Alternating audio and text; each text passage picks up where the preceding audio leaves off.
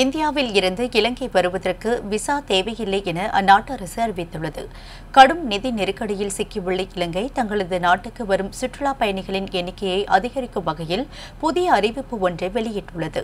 அதன்படி இந்தியாவில் இருந்து இலங்கை வருவதற்கு விசா தேவையில்லை என அந்நாட்டு அரசு அறிவித்துள்ளது.